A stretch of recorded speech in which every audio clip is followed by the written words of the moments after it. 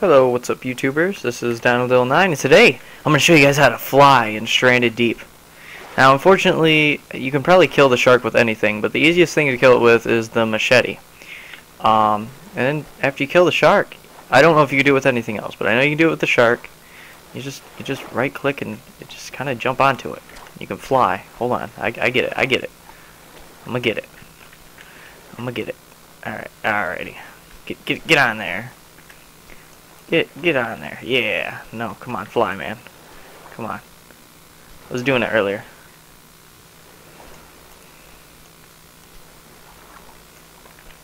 Come on. Come on. Man, man.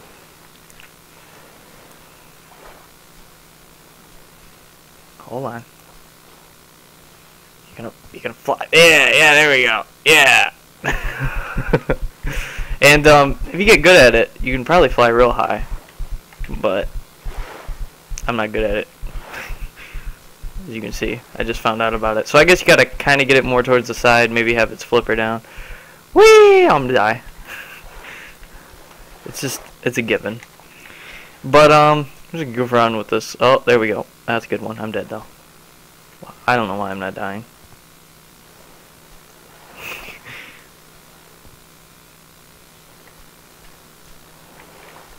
So I guess it's something cool to do. I don't think you can use it in water, but we'll go check it out.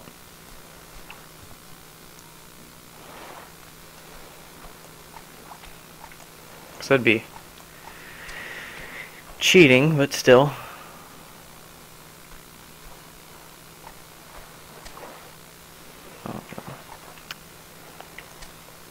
Come on.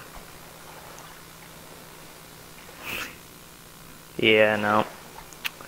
Definitely not. Another bad thing about this game, though, just real quickly, when you kill a shark, it sinks to the bottom, so you have to go down there and uh, grab it.